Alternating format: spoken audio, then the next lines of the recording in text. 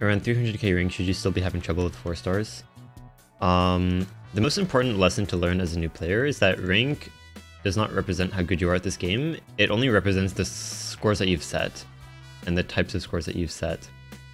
Because if you play maps that the ranking system likes or like rewards more, and also if you just kind of have more scores in general, then you're going to be higher rank.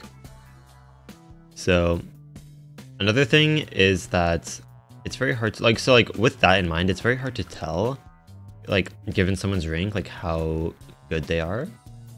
It's also kind of tricky to tell like at very low rank ranges because it's I think skill is very diversified there. Some people are like already comfortable with other rhythm games and they just don't have too much experience with Osu, but they will be able to get the hang of it quickly. And some people have absolutely no experience. Maybe it's like their first time using a computer ever, as a more extreme example, and like they're not very comfortable even using a mouse. So like getting to rank 300k was a very, very big stretch for them.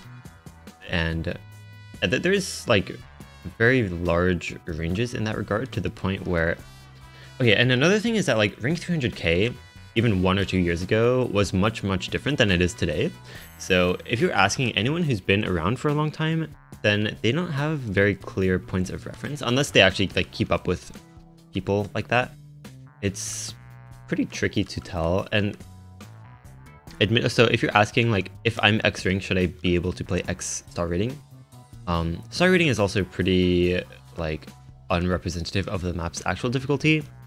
And uh, also, let's see.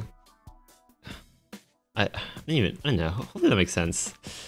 It, there's a reason why people don't like answering those kinds of questions, and it's not, I'm not necessarily trying to jab at your question either.